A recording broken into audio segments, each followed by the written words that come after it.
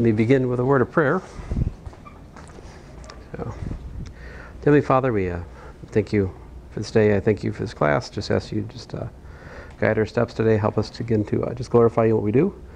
And just uh, the uh, students who would ask good questions as I think of them, Lord. In name I pray, Lord Jesus. Amen.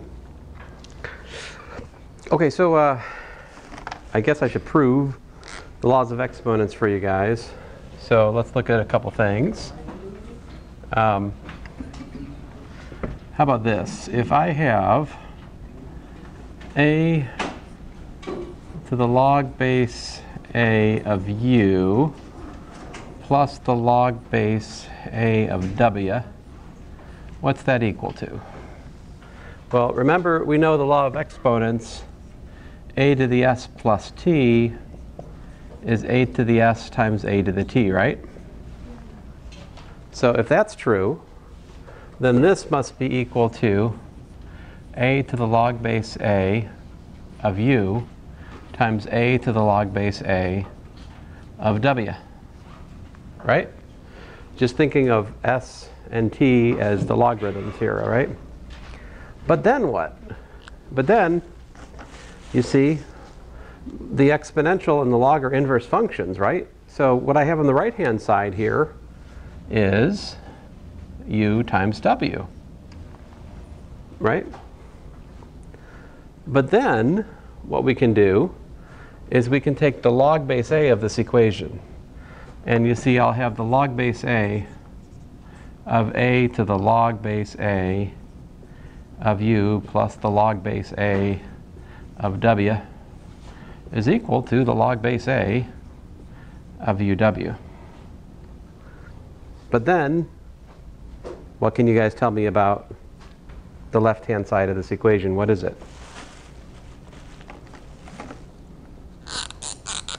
Notice that we're taking the log base a of an exponential. So these are inverse functions. We're just left with what? This right here, right? So this gives us the log base a of u plus the log base a of w is equal to the log base a of uw. And there is one of our main properties of the logarithm. All right. So um, next up, any questions? So I just want I wanted to show you why the law of logarithms was true. If you already know the law of exponentials, it, it it's a, con a logical consequence of algebra we already know and the definition of the logarithm. Because this is a weird rule on its lonesome, right? Like just by itself, why is that true? It's weird, right? But it, that, it's just this written in log notation as it turns out. Now, the other thing we know about exponentials is that if we have a to the s raised to the, say, p power, it's what? a to the, uh, a to the sp, right? So if we exponentiate, if we take a power of an exponential, we just multiply the exponentials, right? Multiply the, uh, the exponents, rather. So um, if I have u is equal to a to the log base a of u, First of all, I can write that, right? Agree? That's an identity because the exponential and the log are inverse functions. I can write that. And then what I do is I just take both, both, both sides to the p power, all right? So this to the power p is equal to that to the power p, right? But what's my rule? And, and by the way, I could just as well as write this a to the ps, right? like the numbers commute, so you can go either way. So here, I have a to the p times the log base a of u.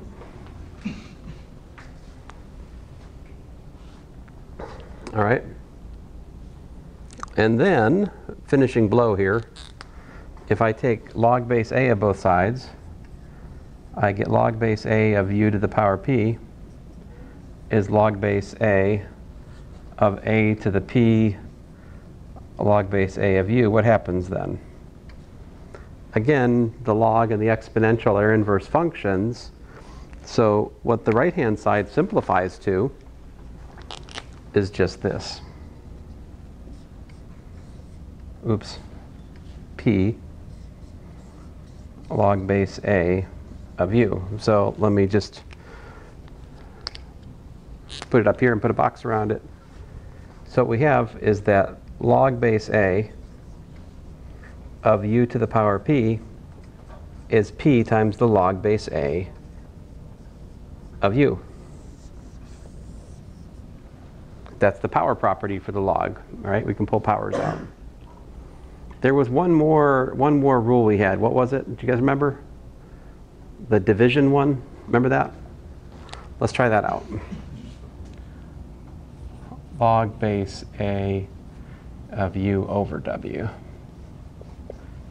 Any questions before I go on? Or- So I just, I'm showing you why the rules I wrote down. Rules, like how they work, like how, how they're like true. Yeah, I'm I'm just trying to explain why the rules are true. That's, that's what we're doing. We will apply these, of course, to more problems here in a minute, but just taking a couple of class, couple minutes of class time to prove the laws is all. Um,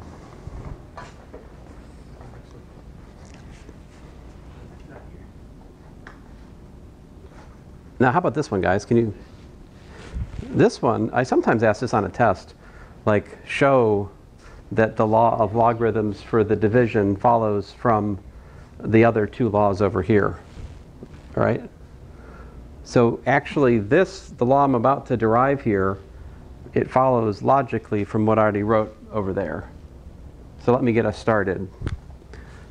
Um, so here, log base a of u times w to the minus, minus 1 power. Do you guys agree with that? Or that make sense? Because remember, division is the same as multiplication by the reciprocal, right? And then I can do what? Yeah? Wouldn't that just also equal log base AU minus log base AW? It would be that. We're trying to derive that. How about, but you're, you're exactly right. But here's why that's true. You're exactly right. No, minus. But, Oh. but, but you see why that's true? That's true by just applying the first rule that we derived, right? Because the log of a product is the sum of the logs, right? And then we can look at this as what? This is, the power is minus 1, right? And so by the power property, we get log base A of u minus log base A of w. And that's what you're telling me, right? Because that's what I wrote in the notes we wrote last class. But my point to you is that law of logarithms is a logical consequence of the first two I proved today. All right? So you're like, wait a minute, does that mean that if I know the first two laws, I don't need to learn the third? Well, that's true, yeah. But it's, it's nice to know this, just for this, you know, just to apply it. So you guys have any, now that I've done these proofs, that's pretty much it, proof-wise. So that's the final, the log base A minus log base A W. Yeah. Uh, yeah, I can't simplify it any more than that. That's pretty much it, yeah. Any questions in here? Let me do another example that applies these properties, yeah? So, example one, let's expand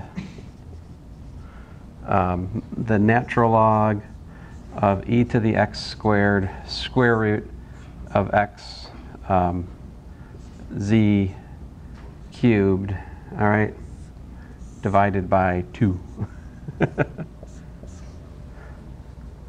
there we go. Ex- let's expand this into a sum of logs, okay? So, oh, I'm sorry, I, I forgot my y. There we go. If I'm going to have an x and a z, I, I need to have a y too, otherwise it just feels wrong, right? Yeah. No? You guys are like, we just want to be done. The, the, this, the weekend is almost upon us. Let's, let's finish this. No? Do you have another class after this? This is it, right? Th- Then the weekend starts. You need this? You need this class? All right. How's the homework going? Good. You guys have finished the homework? No. No? You started the homework? No. No? Oh. You start the homework. Get it done with. Like, get it out of the way. Well, I have research papers done. Well, okay, but those don't matter. And um, I do, I need more, I matter. hey, did you ever think about the fact that I haven't made you write an essay in this class? Yeah, that's actually why you're my favorite. I'm, I'm pretty awesome, aren't I? No. No, Don't you writing an essay would be even No, worse. not. than- Uh, you, you want an, you want an essay? Oh, okay. No, Uh. Justin, Justin. The real Not question is, Justin. how on earth would you write an essay? I don't know. It's, um, I understand why trying to get us to find why. why- I mean, I, I personally enjoy writing up like math notes. I enjoy it like quite a lot, so I write on math. But making students write that, like, no, no. Oh. All right, so let me start out. let me just do some steps here. You see, you guys, if you agree with me or not. Natural log of e to the x squared um, plus the natural log of the square root of xz cubed um, minus the natural log of 2 times y. So we can do more, right? This is a good start. So what is the natural log of e to the x squared?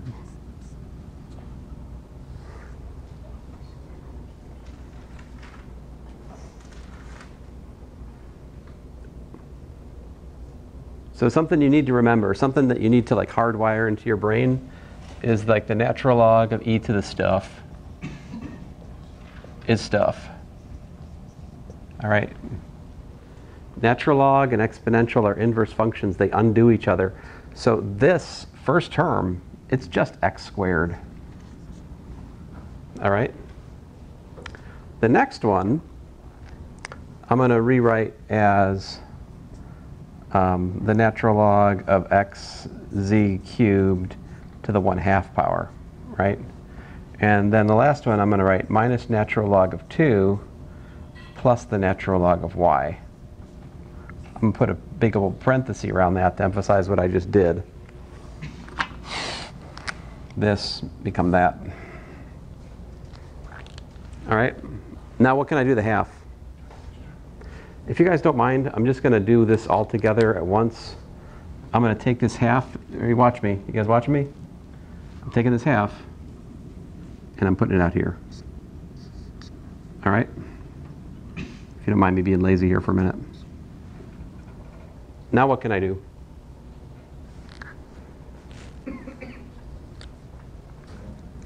I've got x squared plus 1 half, what is that? Natural log of x plus the natural log of z cubed. Right? Minus log 2 minus log y. And then what can I do to that 3? If you guys don't mind, I'm going to be lazy again and just do it all right here. Are You watching me? We can take that 3, right? And we can put it out here, right? That's the power property.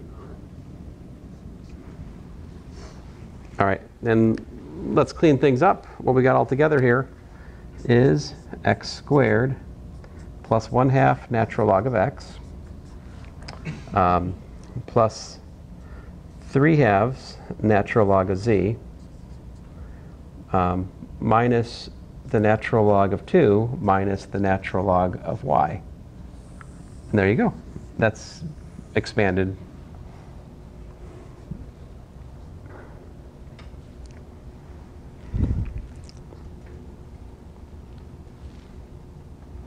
So I broke it up into a bunch of little baby steps this time.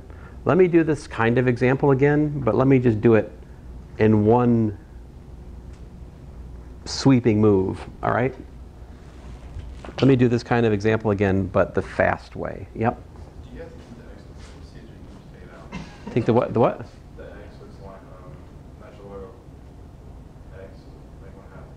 Yeah, natural log of z is in parentheses. Does that mean Yeah, anything? you have to keep. Oh, oh, that was just me. Um, like, I- I, could add parentheses over here. Um, parentheses are optional in natural log. Yeah. Um, it's definitely a good practice to put them there if you've got like a like a, you know, x plus three or something. But here, the context could, I could have omitted them. I don't even think about it. I just, you know, I didn't even think about it. Um, maybe I should think about it. so anyway, um, example two. Let's let's do another expand example. Um, this time I'm going to do it a little bit faster. Log of, um, uh, let's see here, 10, log of a 1,000 um, times the square root of x cubed um, times y divided by um,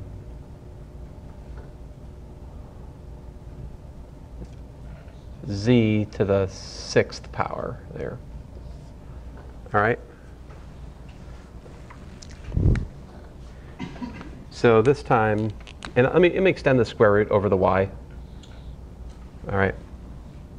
So maybe a, a, a better way to do this problem is to just kind of write what the things are. That's 10 to the third power. That's x to the 3 halves power. That's y to the 3 halves, uh, excuse me, y to the half power, right? And then we've got z to the 6th downstairs. My apologies to the people who are not here. You are many.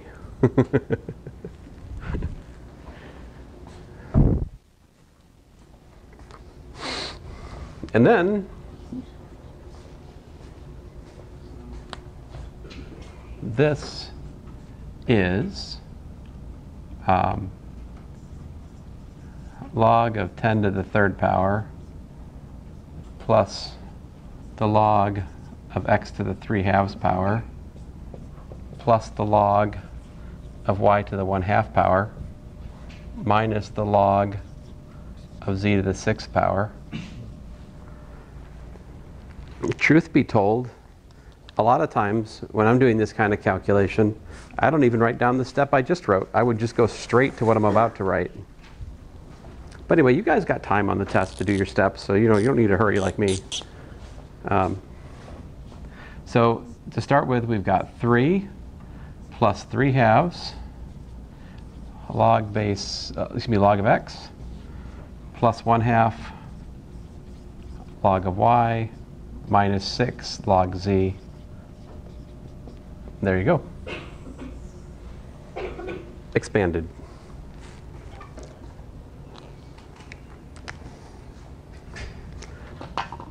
Okay, so the other thing I should make sure I tell you guys about before I forget is the, is the change of base formula, right? Because like sometimes we want to calculate a logarithm and um, you know we might want to use natural log to actually calculate it because you might not have like a base log base 3 button on your calculator or something.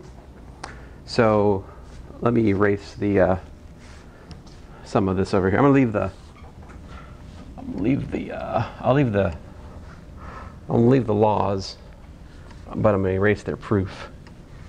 Let's see here. Do do do do do do do do. I guess we know them now. Let's see here. So, all right. Anyway, so change of base formula.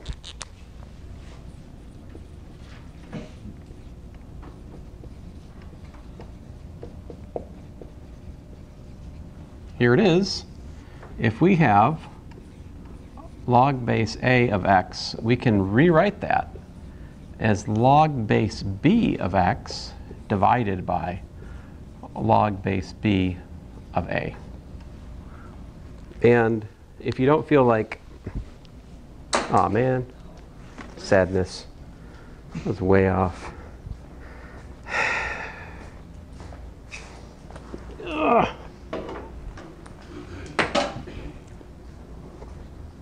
Pragmatically speaking, I often find myself using the following formula. The natural log of x divided by the natural log of a. Because natural log is easy to find on almost any calculator, all right? But you see, if you have a logarithm in one base, you can convert it to a logarithm in another base according to this formula. So like, for example, 3, let's take this, let's try this out.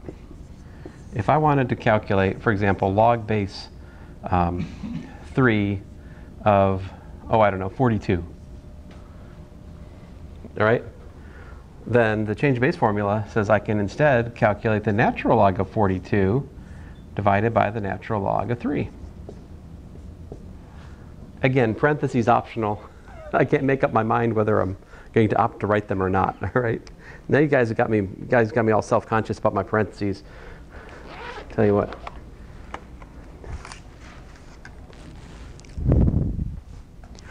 All right. Here we go. Here we go. The natural log of 42 is, according to my calculator here, approximately equal to 3.73 seven six six nine six one eight. There you go. Entirely too many digi- digits. What's the natural log of three equal to?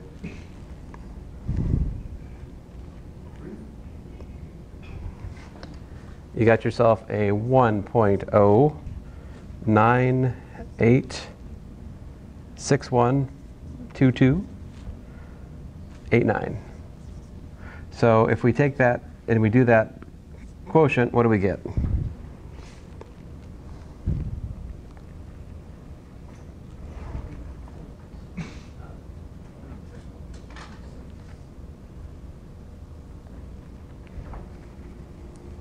It gives me a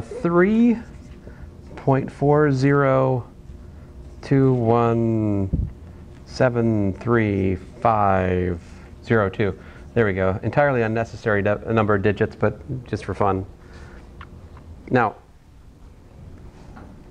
so my point to you is with the change of base formula, we can take something that's log base 3 and we can find its decimal form just using natural log, all right? Which is nice if you only have natural log. Now in my calculator, I actually have a log base 3 button. Oops, pushed the wrong button. So I can actually calculate this directly with my calculator as well. And when I do that, my calculator tells me that this is equal to 3.402173503. Oh no, look at that. See that? You know how that happened? It's the machine error, this division. My calculator can't hang, it can't do the division correctly in the last digit. Or its log base 3 calculator isn't quite right in the last digit. I don't know, one of these or the other is wrong.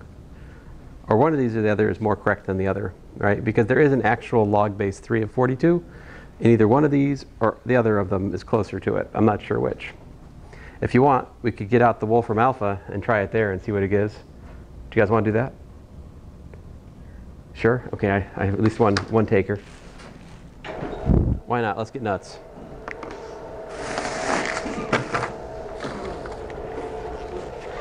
And this is, by the way, one of the joys of Wolfram Alpha, in that Wolfram Alpha will tell us, oh, I forgot the top hat, didn't I? Just a second. I will top hat. Are you guys excited about Top Hat? Super excited. Your Top Hat code for today is 4932.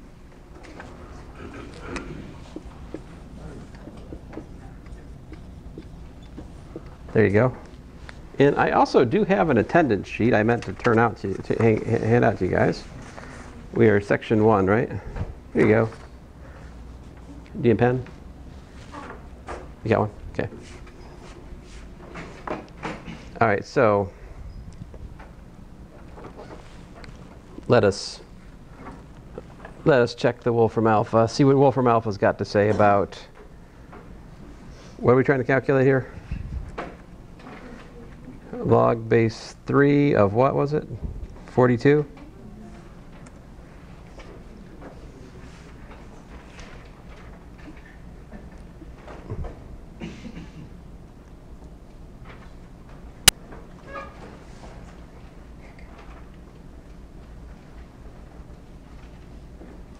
Oh, come on. Well, I see it, but you guys don't. Hello? Work. Thank you. So there's log base 3 of 42. 3.402173052. Oh, interesting. 27. So this, the, when I calculated the division, I got the last digit of 2, but I think it should be rounded up to, technically it should be rounded up to to 3, right? 3053. Yeah, it should be 3 since the next one's a 7. But if you, if you yearn for 50 digits of log base 3 of 42, Wolfram Alpha will give them to you. Isn't that cool? I don't know. You know, guys, when I'm teaching physics, right, and I have to calculate something, I often use Wolfram Alpha to calculate it because, unlike a calculator, I can see all my steps and I'd never get in trouble with like round off error if I use Wolfram Alpha to like calculate the answers to my physics problems when I'm like checking answers for a solution or something. So I, I do, you know, no joke, this website's very helpful. Anyway, any questions? Hey, while we got this out, let's play with uh, Desmos for a second. What does the, ooh, 3D. Okay, that doesn't matter to us. I'll behave. Um, I will not chase the squirrel. So you guys know what y equals to x looks like, right? And we can make that dotted, right? If we wanted to. Yeah, let's make it dotted. And green. There we go. Oh, wait a minute. Now it's invisible on the stupid screen. Purple then. All right, there's, there's y equals x. Now, how about y equals log base a, oops, of x. We will add a slider. We'll make a equal to, there we go. And then we'll do y equals a to the x. And I don't like purple. I want to make that one red.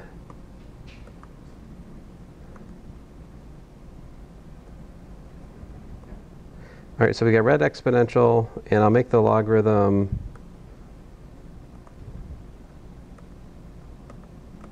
Come on, come back to me. You dummy.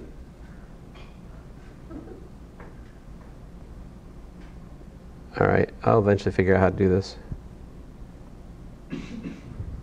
What do you guys want? Orange? It's, it's too much like the other one. I can't go with orange. I'm, I'm gonna, I'm gonna have to go green. A blue? Blue. We can go blue. There we go. Blue it is. All right. Anyway, so behold, this is the graph of.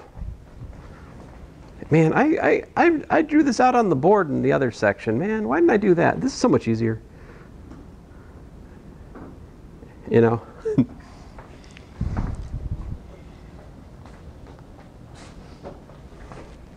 Well, it's kind of dangerous to use that projector upstairs because when people walk on the roof, like the thing goes up and down, it makes you feel car sick and such. Although that can happen here too. If somebody like is in the upstairs and they like walk where that is, it'll make it bounce around.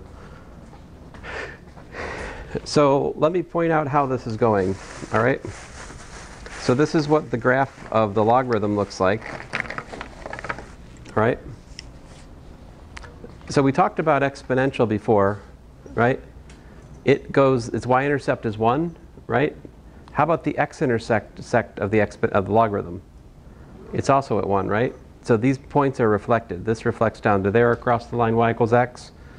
There's also a point, let me put my, I don't really think about base 2.4 too much, you know? Um,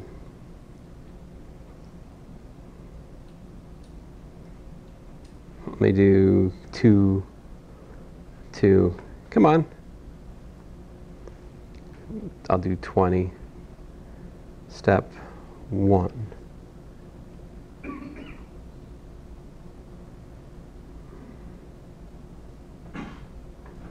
So you can see what the different bases look like, right?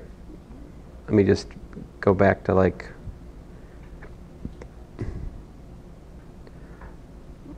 I'll go back to like base 4 there. So Here's log base 4, here's y equals 4 to the x. When you get to 1, you've got the point what? 1, 4, right? That reflects down here to the point 4, 1. So you can track points on the exponential, like this is one, um, well, right here you'd have minus 1, 1 fourth, right? That corresponds to the point a 1 fourth comma minus 1 here. All right? There's, if you can graph the exponential, you just take the points and you flip them, and you get the graph of, graph of the log. What's, what's the domain of the log? The blue is the log. What's the domain of the log? Starts where? Starts at 0, goes to infinity. What's the range of the log? Well, it keeps going down, down, down, down, down. And if, I don't know, it's kind of hard to tell, but it just keeps going up and up and up. All right? So, like, the range of the log is minus infinity to infinity. That's, uh, which, which, does this one cross zero? No. It's, it's a, th- which, which, which one do you mean? Well, the log crosses zero here. That's at one. Log of one is zero. Just like exponential of zero is one. Um, but the domain of the exponential is all real numbers. The range of the logarithm is all real numbers, right? The range of the exponential is 0 to infinity. The domain of the logarithm is 0 to infinity. So the, you can see the domain and the range getting flip-flopped. Anyway, I just wanted to share that with you guys, so there it is. I'll put it away now.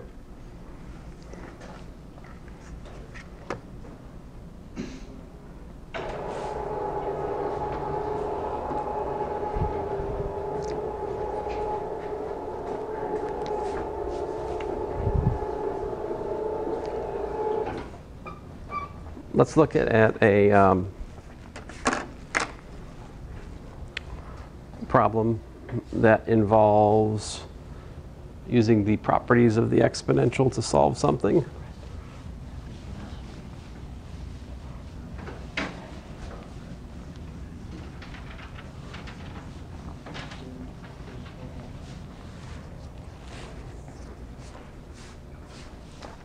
All right.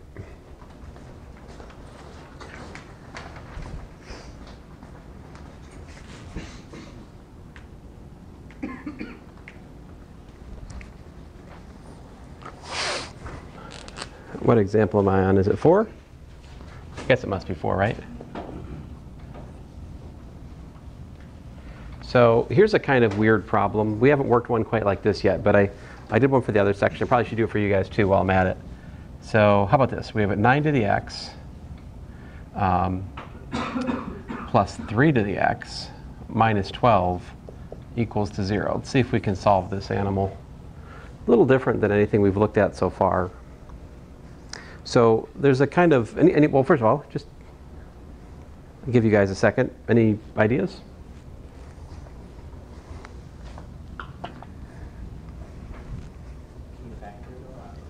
Factor it. So how would you do that? How about this? I, a lot of times I tell people to take the natural log of both sides. Can I do that here? No, I, it's a trap, right? What's the natural log of zero?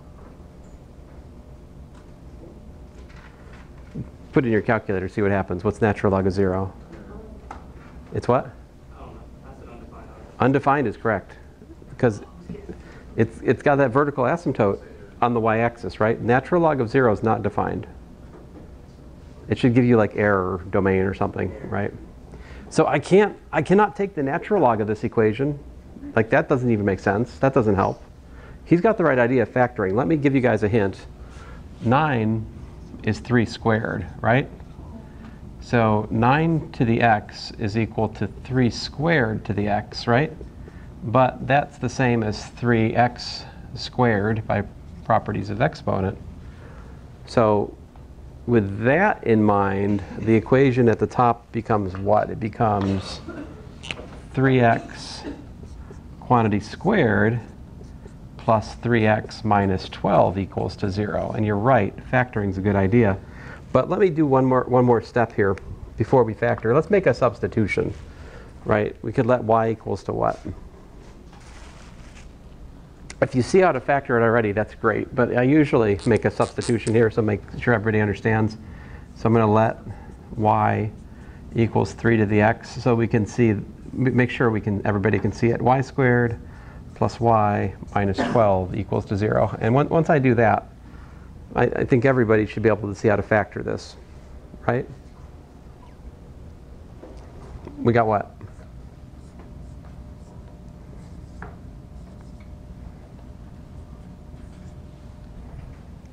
Twelve is what? One times twelve, two times six, three times four.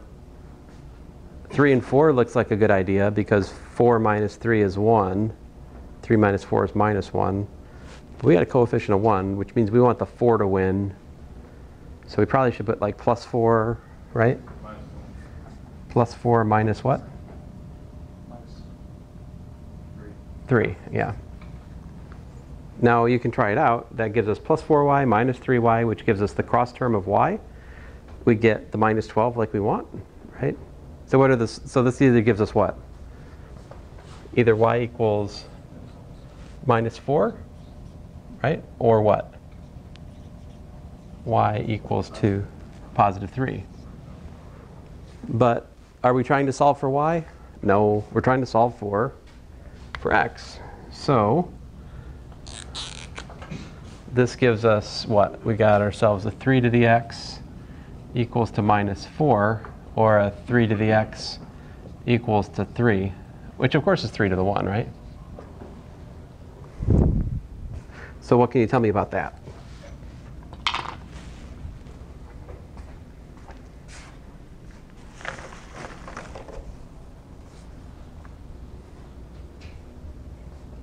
It's gonna be the three, right? What's that? It's gonna be the three, right? y equals. Or the three X. Oh, you're saying this is the one that works? What is, what is x equal to here? X is equal to 1, right? From the one-to-one property, if you like. And this right here, no solution, right? No solution. Why no solution? Well, if you take the natural log of both sides, we, anyway, this is no solution, all right? If you like, I can draw, I can explain graphically. y equals 3 to the x looks like this, right? y equals minus 4 is down here somewhere, right? They never meet. See, 3 to the x is positive. There's no possible way you can get minus 4 out of 3 to the x using real x. So what that means is that this one is extraneous. All right. It's not even in the solution set. The other one, x equals to 1, well, there you go. That's the solution. Now there's one like this in the homework, but instead of having 9 to the x, I think it's got like 4 to the x and 2 to the x, but you could probably figure out how to do it with in view of this example. All right? Let me work another example for us here. Unless you guys got a question. X equals. X equal 1 is the answer. Yep, that's it. And you can easily check that it works, right? 9 plus 3 minus 12. 12 minus 12, 0. Yay. Woohoo.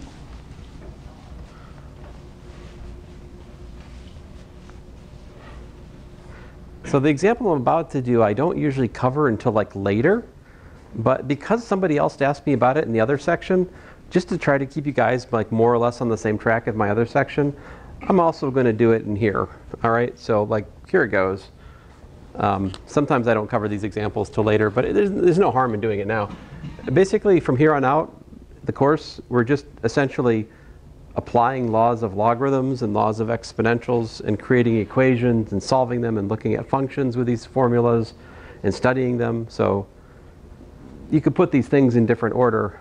The, lion, the, the, the larger point is we're trying to understand exponentials and logarithms, and the way to understand them is to spend time with them, right? Just like people.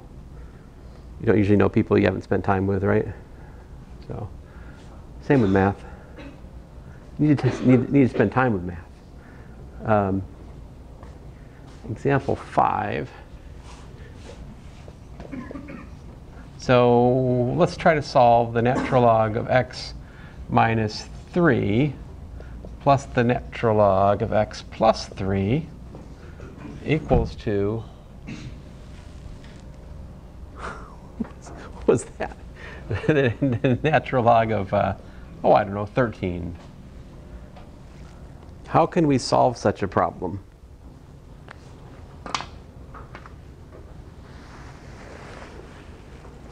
We haven't done anything like this yet, right?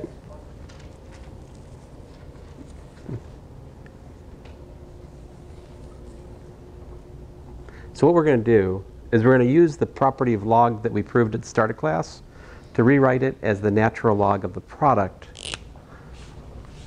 So this is really the same as the natural log of x minus 3 times x plus 3. So I put all my, all my terms together, okay, like that.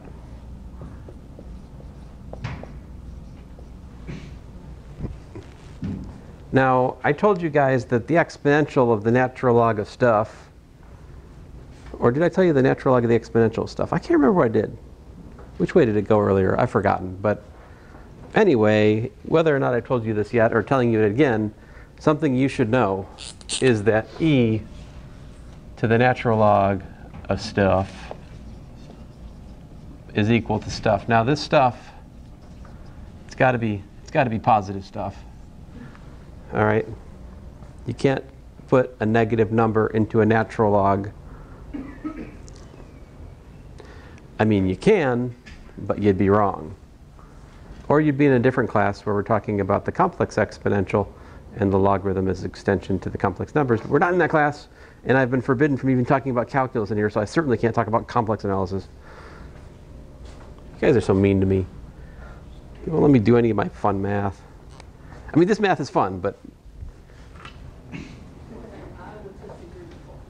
you will disagree. hey, so the natural enemy of the natural log is the exponential is my point.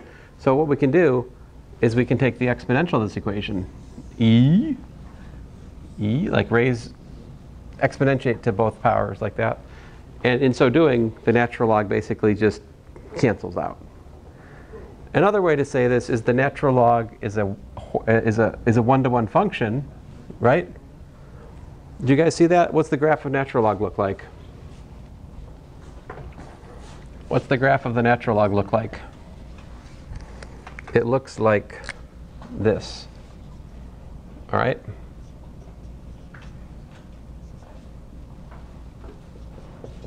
Is that pass, does that pass the horizontal line test? It does, right? Which means we have the one-to-one property for the natural log. So once I have natural log of blah equals natural log of whatever, that means that blah is equal to whatever. In this case, the blah is x minus 3 times x plus 3, and the whatever is 13. It's important, though, we have to have natural log of just one thing equals to natural log of just one thing. Like, I can't just equate the things before I combine them. It would have been wrong to just drop the natural logs and simply write x minus 3 plus x plus 3 equals to 13. That would have been total nonsense, but also a very popular wrong answer on test three in this course. Very popular, but also very wrong. All right, you can't, you can't just, like some people are just like, I'm just going to divide by ln. Right? This is one of the kind of things that I will feature in my math pranks channel, which I eventually create. It's going to be all stuff like that. I've showed you the other ones, right? I think I've showed you before. Like 64 over 16, you cancel the sixes and you get 4, right? Yeah. On that note, I don't know if I told you guys this already. I asked a question. Never asked you this question? Can a, can a ninja can a ninja throw a throwing star? The correct answer is sure he can.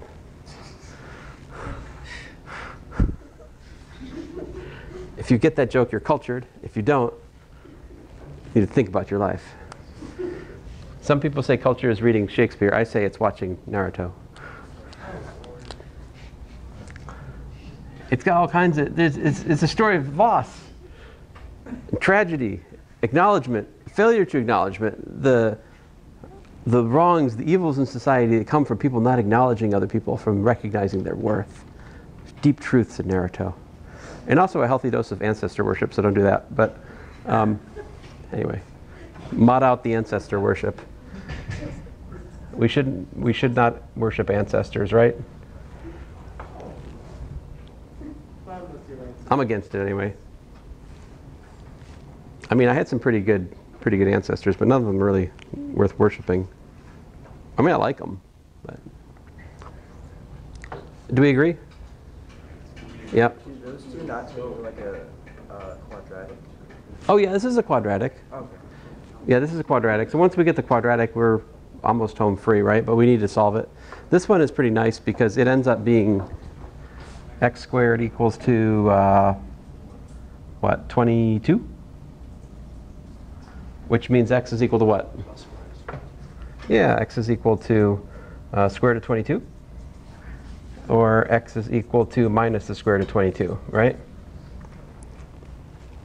Now, in these problems, we have to be careful. Because just because, okay, here's the thing is, once you do that, that combining the natural log step, it's only justified if both of the logs that you're combining have positive inputs. So it's kind of like the squaring the equation step. You can end up adjoining solutions that aren't really there in this step right here. This step going from here to here, I can, I can be adjoining solutions that aren't really solutions. And that happened here. See, because if you go back to the original problem, square root of 22 is fine. Square root of 22 is like what, 4 point something or other? So 4 minus 3 positive, 4 plus 3 positive, great. We can put square root of 22 back into the original equation. However, minus root 22, that will not work. Because when I put that up into here, I get minus root 22 minus 3. That's negative. Okay, so this right here, we have to throw out. This is outside the domain of original equation. All right? In other words, this one is an extraneous solution. It's not even in the solution set, all right? So the answer is simply 4, no, the square root of 22. Do